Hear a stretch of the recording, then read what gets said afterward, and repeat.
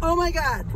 I went through, that one's got dead. Oh no. I went by another one that was bigger than the one I was by. Look at the size of this bad boy. Oh. Oh, this is incredible. Oh my gosh, look at these trees. Oh man, that one must got hit by lightning. I know how that feels. Holy crap. Oh my gosh. Oh, fantastic. Look at them. Oh my God, I'm almost gonna cry. Holy moly. It's sad that a fire came through this area. Now we're getting back into the burn area. Oh man.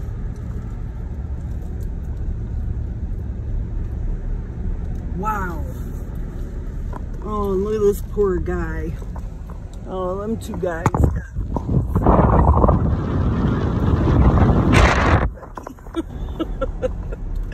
Here, look at the damage from the forest fire. Whew, killed all the smaller trees for sure. Look at that. Mm-mm-mm. I don't know how long ago that fire was, but the underbrush is growing back, so it had to be a couple of years ago at least. But look at that big giant, he got burnt. Two more big giants. Holy crap.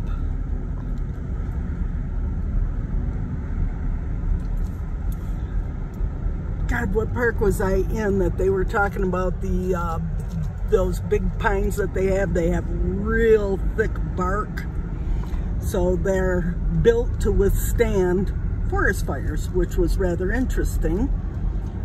And uh, the park, I think that was at um, Rocky Mountain National Park and they said that they go through and do controlled burns to kill off that undergrowth and so the fires don't have a whole lot of fuel to burn on.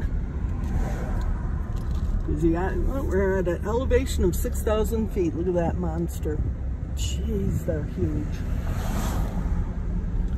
I mean I am so impressed. Look at this. I mean that is crazy big. Woo! I don't know if sequoias are bigger than redwoods. I couldn't even imagine a redwood. I can't wait to go to that park. It's always been on my bucket list was to come and see the big trees before they're gone.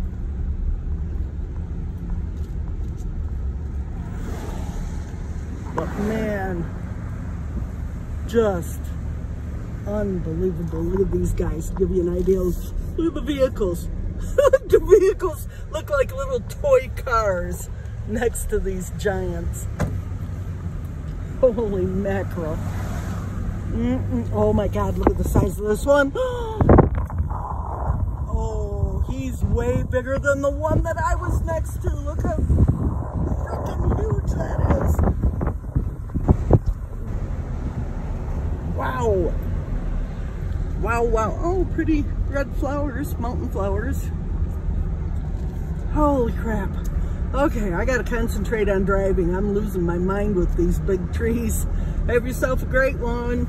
This is a definite, everyone needs to come and see this because these trees are fantastic and absolutely breathtaking. And it's so sad that the fire destroyed this area won't see the big sequoias.